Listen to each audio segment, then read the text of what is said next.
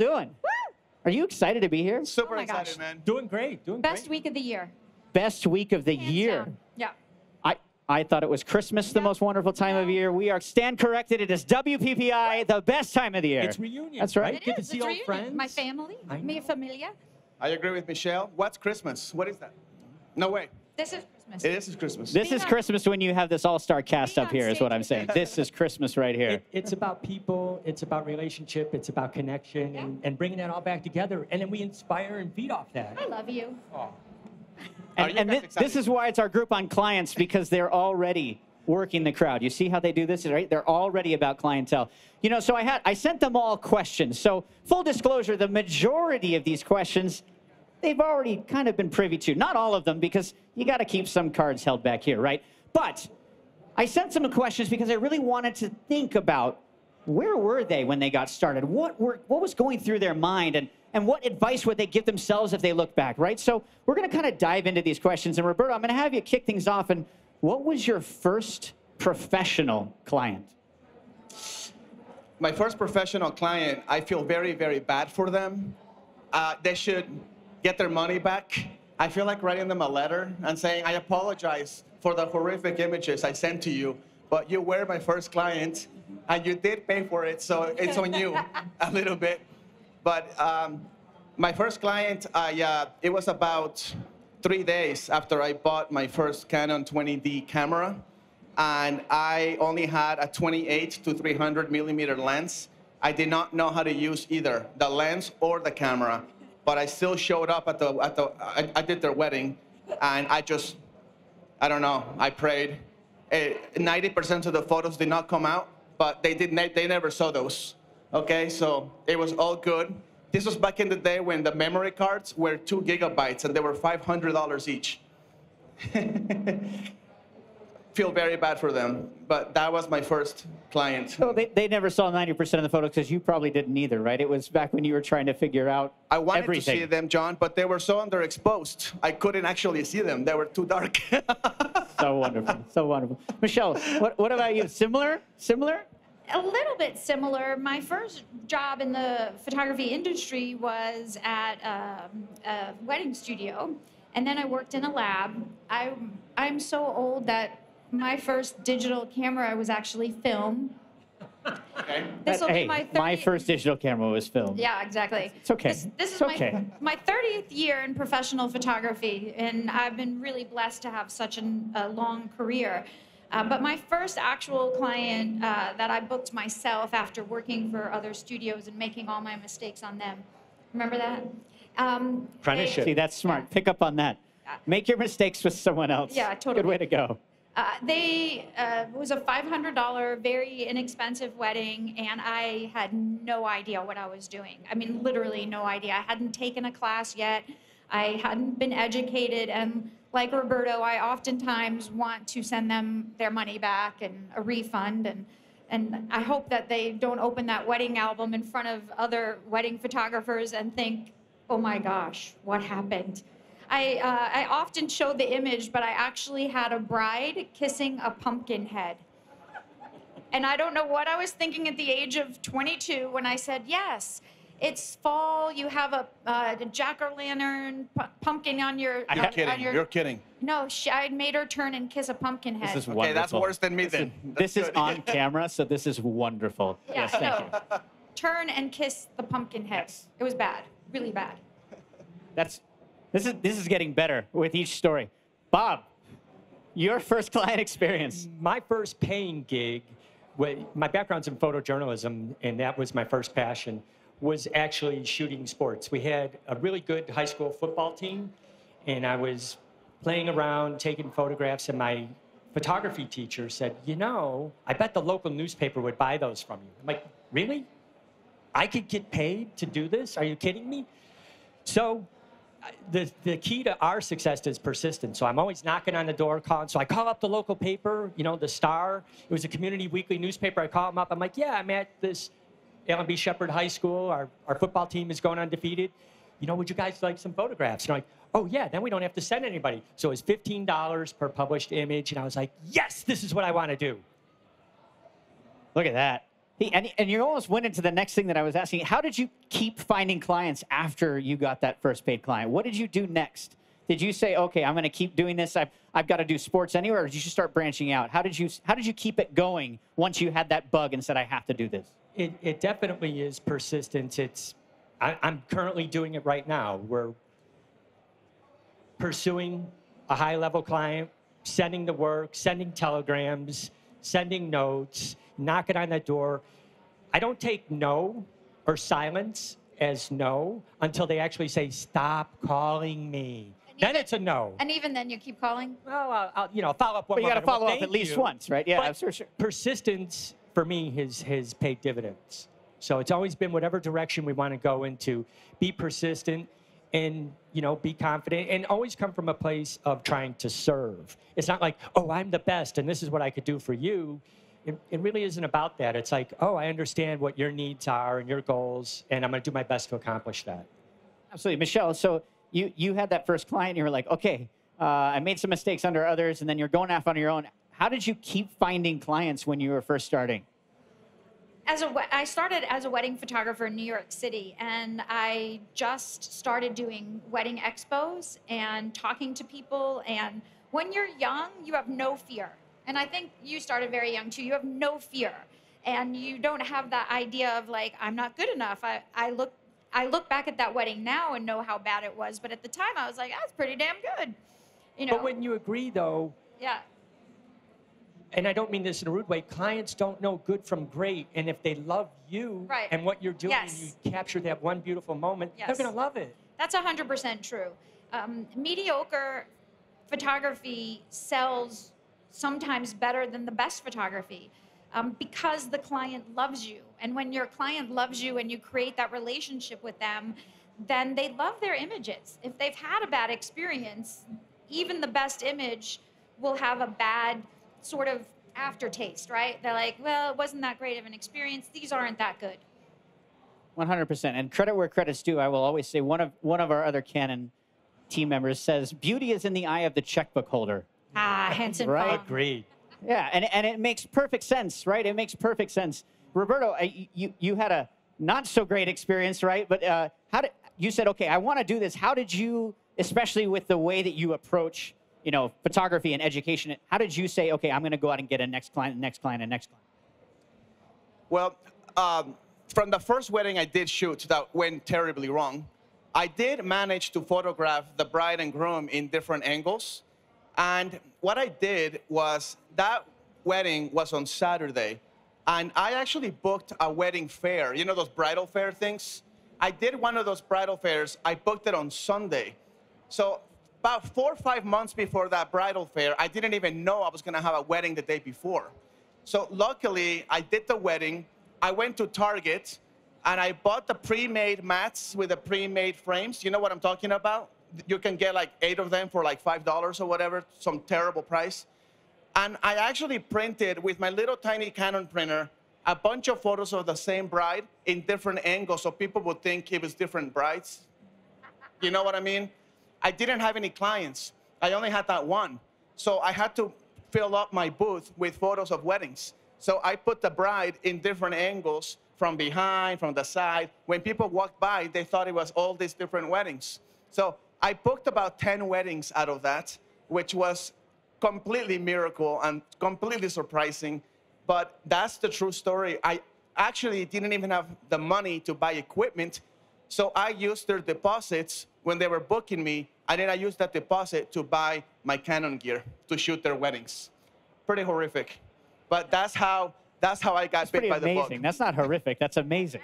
That's a It great story. It's crazy. yeah, you're getting applause crazy. already. That's a great story. It's, Absolutely. Thank it's you. better than going in a bunch of debt, right? It is. It's Exactly, better than yeah. What's that? accrue- It's better than accruing a bunch of debt to buy all this gear. A hundred percent. I I was smart about it. I didn't want to put money on credit cards and start buying things. I did use their their deposits. Um, when when they asked me where are my wedding albums, which I had none of, I just said they were too heavy to carry to the to the booth. So we didn't have any, but you can see my beautiful work. And they were like, "Oh, I like your work." I was like, "You do? All right." you know, thanks, man. and and that's smart because and and it's like he knows the next question right and and, and really that does build into once you started doing this and, and, and you said, okay, I've got these clients, I'm coming in, I'm building all this work, I, I've got a business now, right? I need, I've, I've got this to be sustainable. What advice would you give yourself if you were actually starting out today, but nothing changed? You're your same age, you have a life, you have a family, you have a normal career, and you're suddenly going to switch. You're not that, you know, you can't, you know, no fear going to do anything. Now you have fear, right? Fear of where that next paycheck is coming from because you have mouths to feed. What would that advice? Because if you look out at the audience, right, that's a lot of those people. What is that advice to say, okay, you want to flip that switch? How do you do that? And, and your example was great because you, you didn't bleed any cash, right? You just started off, right? A lot of us might have said, well, I used my parents' money and I got a camera and it was great. yeah. What would you do? Um, I think what Michele said is actually quite interesting. Sometimes ignorance is bliss, is bliss, you know? I, I wasn't aware of what I was getting into. I, I thought wedding photography was going to be something you can just show up to and shoot it. You take pictures of the wedding and you're good to go. It's, I, I've been doing this for 15 years and I've, been worked, I've worked really hard at it. And I'm still learning how to do a really great job at a wedding. It is the most difficult type of photography you can do. You get one chance, people's emotions are high, and you have to be good at commercial, posting, lighting, family photography. You have to be as good as Bob in flashes and lighting, as good as Michele in family portraits. You have to be Joel Grimes in commercial lighting. How do you do all of that with one Workshops. person? Come to our workshops. That's how you do all of You that. Yeah. How do you do that with one person? My advice, looking back now, I would say I think I did my clients a bit of a disservice to just showing up unprepared.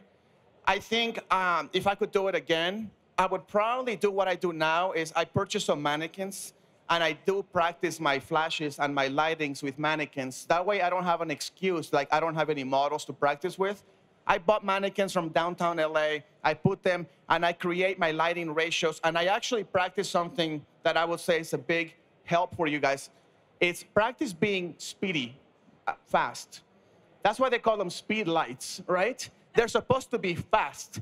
If you're at a wedding working your speed lights and it takes you 20 minutes to get the groups synced, you are done. It's a lot of pressure to be a wedding portrait photographer. My advice is not only work on your craft, but do it, work on how efficient and how fast you can set up your devices.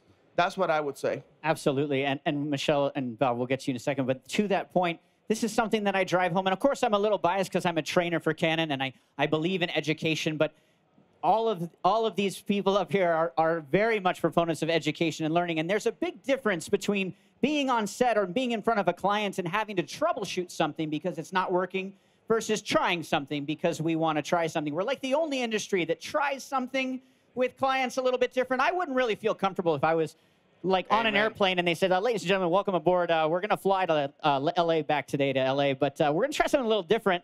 Uh, instead of flying there normally, we're going to go a little bit of 45 degree angle the whole way. Uh, just a little bit different. Don't worry, it's okay, it's safe, but I just want to try it because I can. Uh, I think all of us would get off the airplane, right? And so, so I love what you're saying that you would Yeah. go back and you would you would do that. Now, again, I'm saying there's a difference between troubleshooting because we all have to do that, you know. And, and so, Michele, what would your advice be, you know, to, to kind of say, oh, go back, but you're you are still you. I'm not still new. I'm I'm No, you. You're still you. I'm still me. Yes, that's true. I was very fortunate. I started my career young, right out of high school, and I Im- immediately got involved with organizations where I could learn quickly. And the people who were involved with the organizations and already professional photographers were smart enough to tell me not to start charging what I think I'm worth right now, because we all do that. And this is business, right? We pick up a camera, we fall in love with it, we think we're pretty good, we go to a couple of classes, and we find out we have a lot to learn. And then we, we have that fear I'm not good enough, no one's gonna hire me, no one's gonna like my work. And we have to push past that. You have to put yourself out there. You have to go out with what you have right now. And you have to charge in a way that is an industry standard.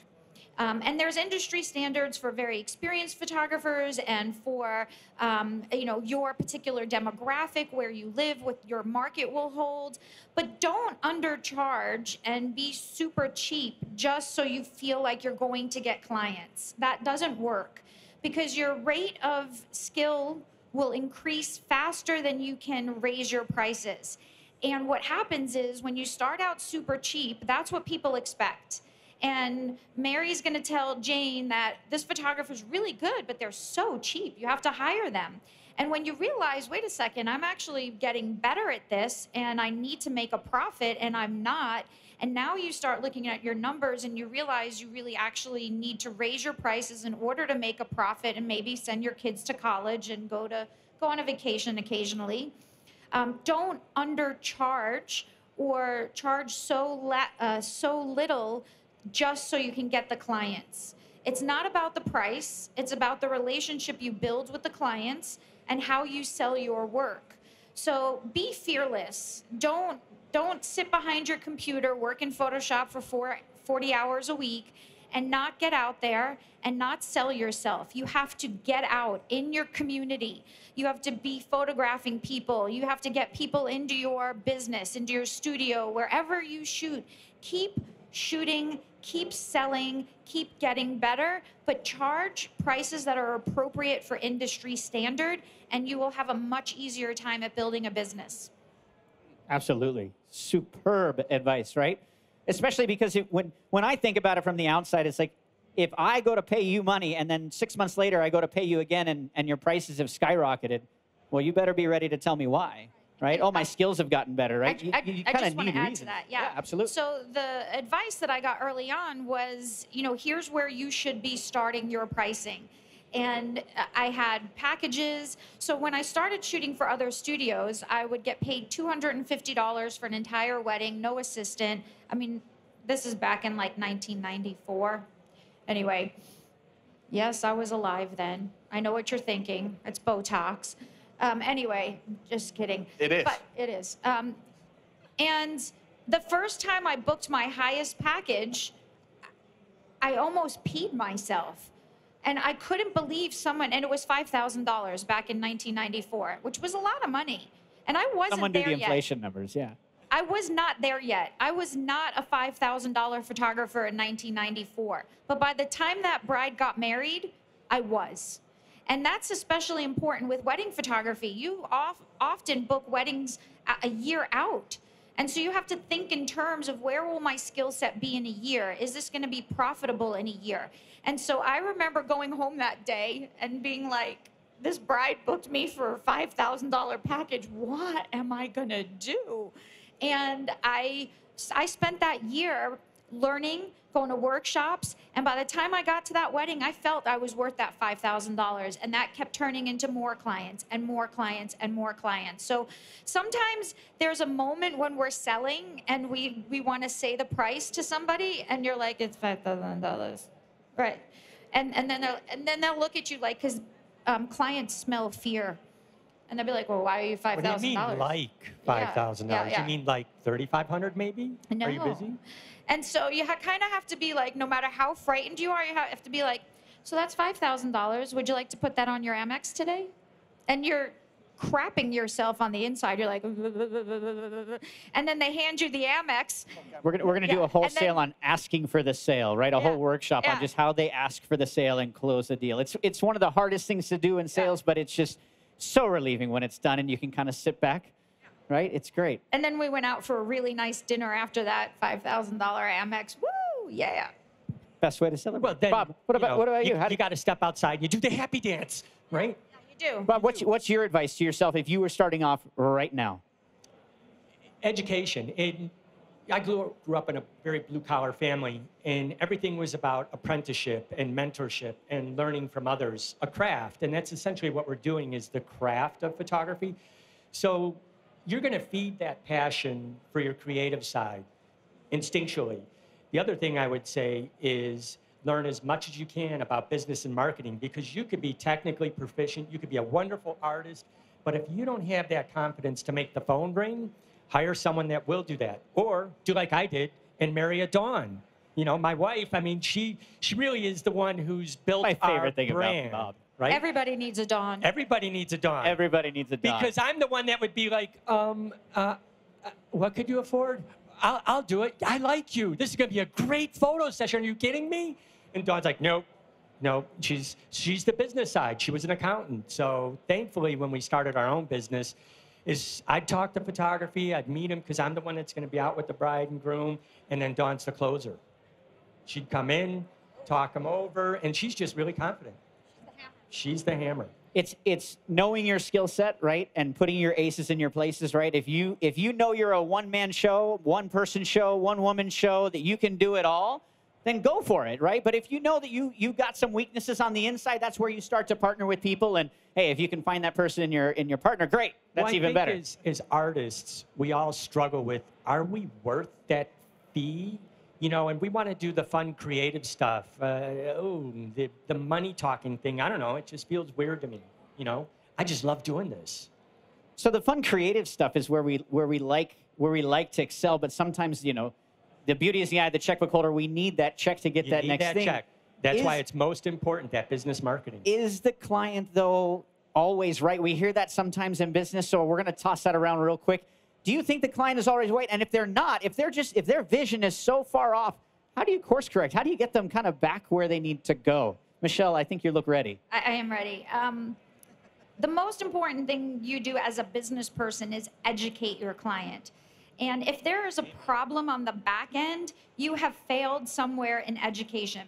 If there is a disconnect, a misunderstanding, if they're not like, oh, I didn't know this was the price, I didn't know I was going to spend this kind of money, then you didn't educate them.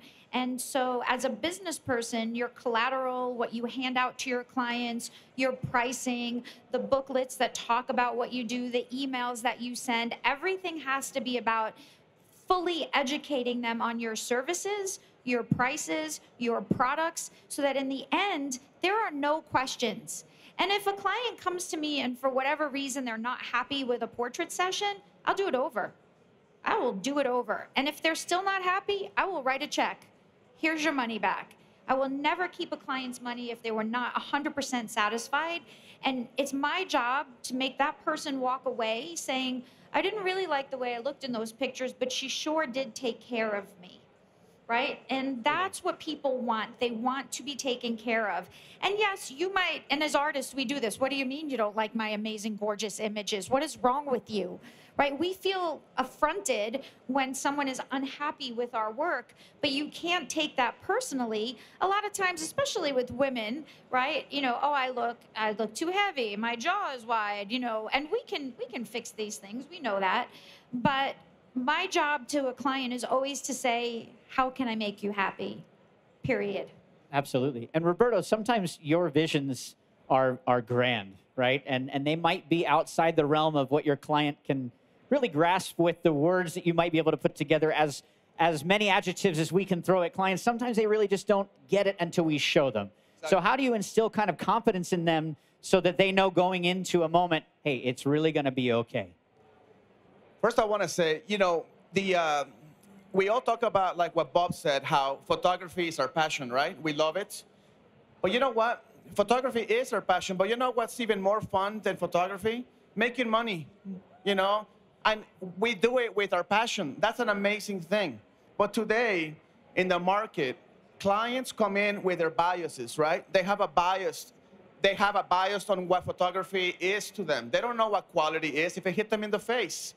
They look at magazines, they look at Instagram all day. That's their bias. They come to you for the meeting. It is my job, like John just said, not to let my photos speak for themselves. Let you, you speak for your photos. You educate your client on what quality and skill level it took to create those photographs. If, if you show clients a bunch of great of photos of your portfolio, they don't know if that's good or bad. It's hard to charge when they have no reference points.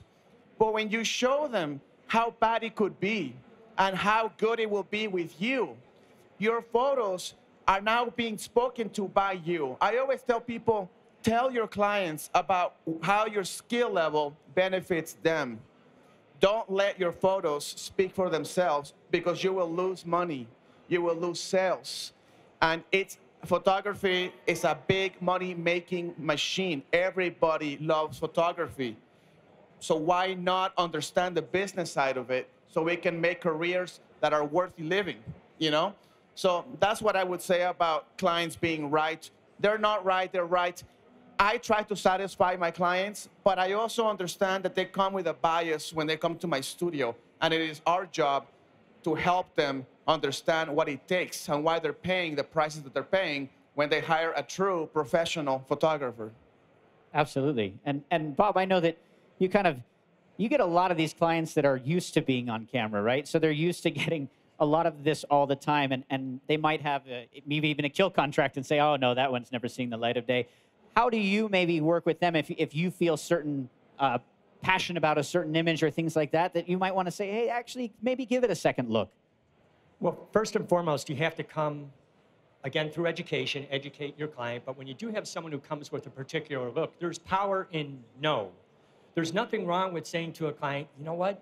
I hear you. That's not my style. But here, I have this great list of photographers that I think would be a better fit for you and put them in the right direction. They'll appreciate that more instead of me trying to adapt to something that's not my strength and try and change our style and change our look. And then as, aside from that, you know, if, if they still continue to go with you, ask a lot of questions. And I don't only communicate verbally, but I'll ask our clients because my artistic might be conservative to their artistic. And I'm not afraid to say, hey, why don't you go on Pinterest, pick me out some looks that you like. Now, we're not going to copy that, but now I know we're speaking the same language. So I fully understand your needs because I truly want to serve you. It's not about the photograph I need to take. I've done this my whole life, so I don't go on any particular job thinking I need this big, grand cinematic photo if that's not what they're looking for. I, I'll often tell clients who are contacting me for the first time, tell me what images on my website that you are attracted to. So I know what locations are interesting to them, what look is interesting to them. Do they like more casual? Do they like more formal? Do they want jeans? Do they want to be dressed up? So just directing them to the images that you've already created and asking which of these images speak to you, which do you feel like you can identify with. Um, that's especially important for high school seniors because they all have a different vision. They want something different than all of their friends did, but they'll be able to at least visualize themselves in images that you've already created. Knowing where you found your client, where your client came from, is so important because it's go back to the same pond you were fishing in, right? I mean, obviously, if there were fish there or how you were finding them, that's going to be a huge thing in addition to the connection point. So we have about five minutes left before Roberto is going to come back on stage for a live demo. So I want to make sure that you get some time with each of these people to get questions answered individually. So Roberto is going to be to the front left of the stage as you're looking at the stage. Michele is going to be at the center of the stage. Bob Davis is going to be over here to the left of the stage, your right. Ladies and gentlemen, let's give them one more applause. Thank you so much for this panel. Come up and ask your questions, get them individually, and then we will see you throughout the rest of WPPI. Thank you again so much.